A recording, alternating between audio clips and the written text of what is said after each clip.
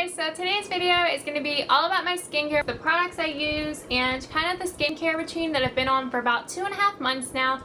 I'm going to say that my skin is nowhere near clear, it's nowhere near perfect. I do get breakouts, not really acne, mainly breakouts. I've noticed a big change in my skin over the past few years, you know, as I've been getting older, I'm now 21. Growing up, I never really broke out at all. I never had acne, never had breakouts anywhere except for my time of the month which I honestly really miss. But like I said, now I do break out. Sometimes it's bad, sometimes it's not.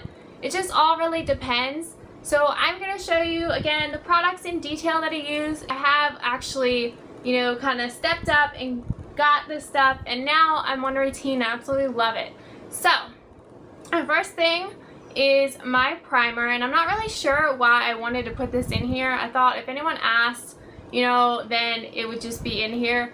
I do not wear primer all the time. I don't know. I feel like I don't have to sometimes, like it's not needed.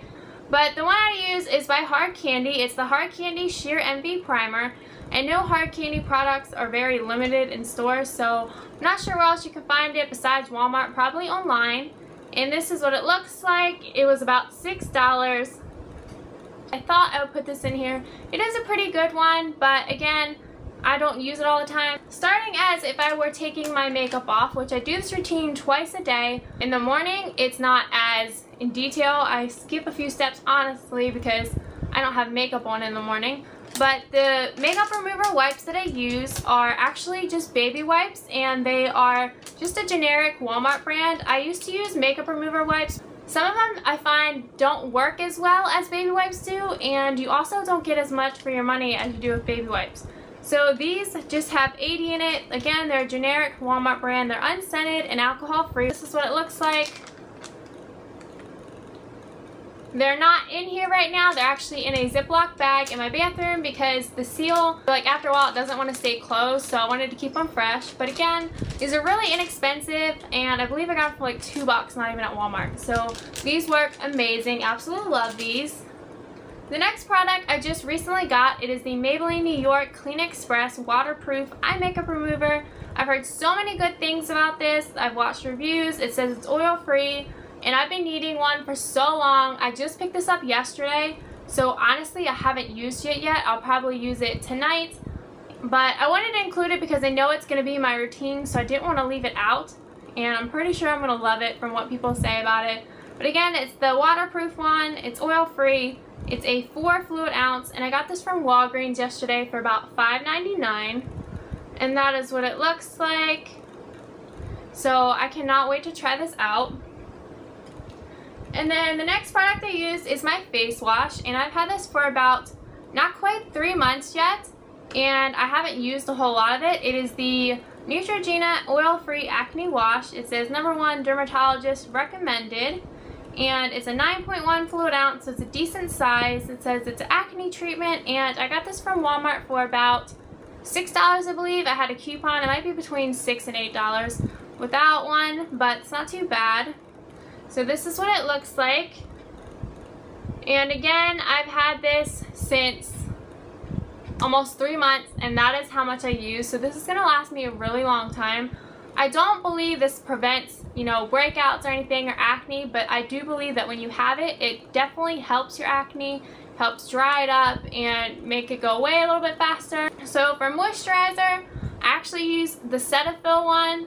So this is one I use. Again, it's a Cetaphil moisturizing cream. It says for dry and sensitive skin, and that's definitely what I have. I do have dry skin, never oily, just dry and sensitive. I do get some redness on my skin from time to time.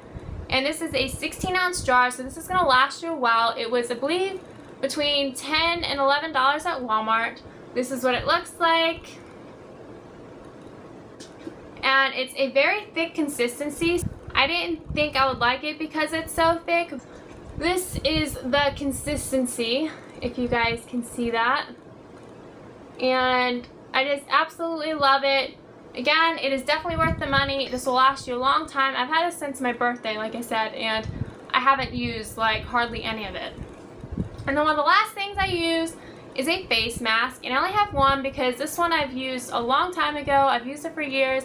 I loved it. It was inexpensive, and it worked, so I went back to it. It is actually the Queen Helene I think that's how you say it. the original mint julep mask. It says it helps dry up acne pimples, rinse away blackheads, and shrink enlarge pores. It is a 8 ounce. This is what it looks like. Absolutely in love with this stuff. It is a green color if you guys don't know that. And that's what that looks like. I definitely recommend this face mask to you guys. It's very cooling, it's very soothing. I definitely tend to use this when I have like a stressful day and I feel like my face is going to break out. Usually when I stress out really bad, I know that my face is going to break out without a doubt. I use this like on a stressful day when I want to relax and feel some breakouts coming on or I use it when I have some breakouts and stuff and I want to kind of dry them up and make them go away faster. I'll use this and it really does help guys. So I believe this was like 4 or $5, not even, at Walgreens. So definitely check this out. So that is all the products that I use, guys. I hope you guys enjoyed this video. I also hope I helped some of you guys with your questions. If you guys have any questions or comments, you can message me, tweet me, leave them down below. I also have updated links now, so make sure you check them out down below. And I think that's about it. So I will see you guys in my next video.